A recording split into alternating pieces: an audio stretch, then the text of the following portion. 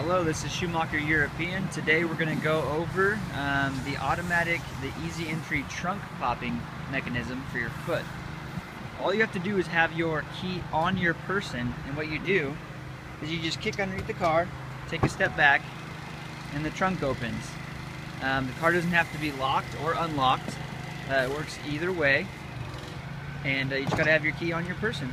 And as long as your car doesn't have a hitch and an electronic trunk, it is an option to put on your car.